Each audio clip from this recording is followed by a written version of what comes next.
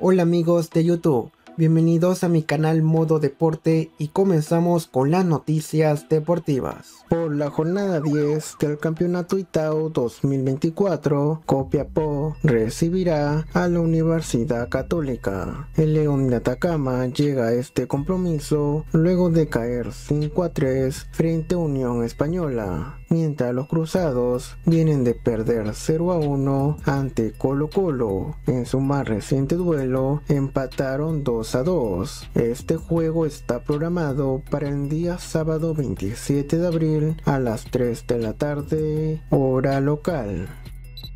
Thiago Silva vuelve a casa. El defensor de 39 años ya tiene un acuerdo de palabra con Fluminense, según informó Goal. Tras más de 15 años en el fútbol europeo, el brasileño considera que es hora de volver a su país natal. Por ello, habría decidido no renovar con Chelsea tras tres temporadas en el club londinense. El conjunto tricolor, de esta manera, tendría un nuevo refuerzo de lujo para reforzar la saga central con mira a futuros proyectos y campeonatos. Cabe resaltar que el entrenador Fernando Diniz rechazó otras opciones en el mercado de pases y solo espera la llegada del defensor central.